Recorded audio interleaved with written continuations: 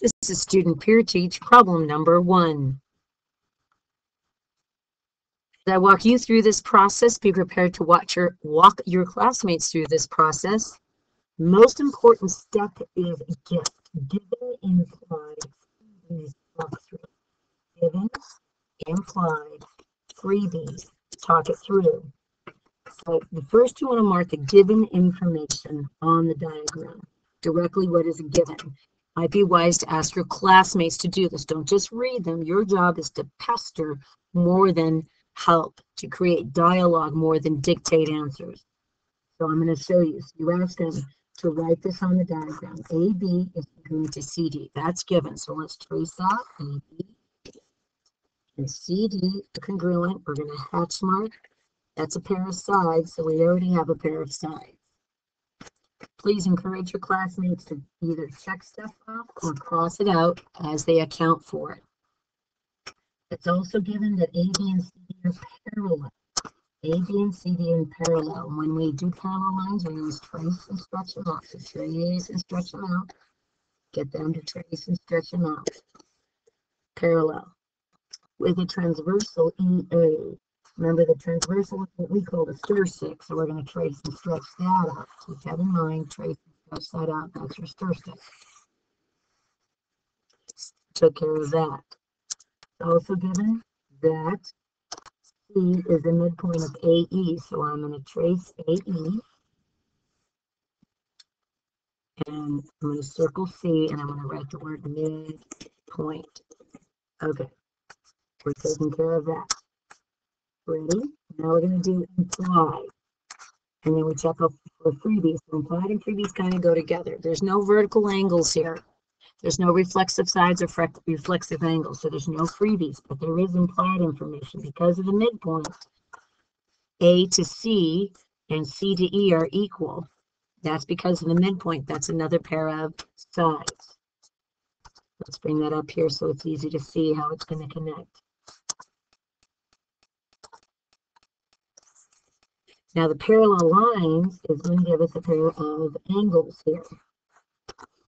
And the angles are corresponding angles at A and C.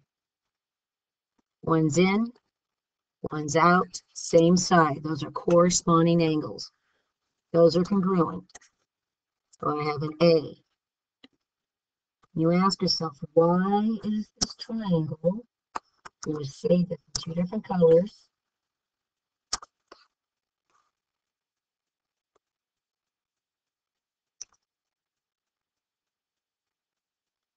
Why is this triangle ABC congruent to this triangle CDE? And the reason is we know it's side angle side already. Side, angle, side. Get your student, and get your classmates to see this before they even start. Because actually writing a proof, it's just mop up. It's not the actual thinking. So get them to talk it through the fact that they have a pair of sides, a pair of congruent angles, and another pair of sides. So make sure you do the talk through part. Remember that talk through is dialogue. So now let's walk through this proof. Again, do not dictate answers. Ask your classmates to respond to you. We know that AB and CD are equal. And the reason why we know that it is given. We know AB and DC are parallel with the transversal of EA. We know that. Why did we get that information? It is given. We know C is the midpoint of AE. Why do we know that? It is given. Get your classmates to read this and you help them think this through. Now, what's implied by the given here? What's implied?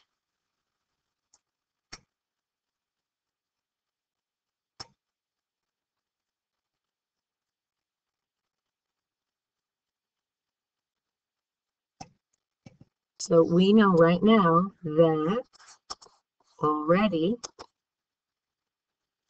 we know that AB and CD are congruent. We're just going to repeat it. It's given, so we're just going to connect this straight down. That's going to be a pair of congruent sides. A little S for sides here.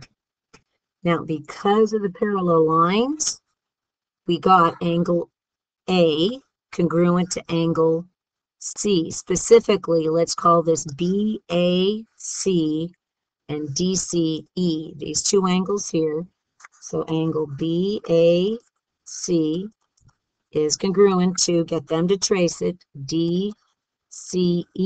Remember, we have to watch our order here. We're going from the point in down, point in down. Why do we know that? Because those are, if we have parallel lines, then corresponding angles are congruent. That gets us a pair of angles. C is the midpoint of AE. That tells us that A to C is congruent to C to E. And the reason why, midpoint creates congruent segments. Now look at what we have. That's a pair of sides. So we have sufficient information. We have a pair of sides, we have a pair of angles, and another pair of sides.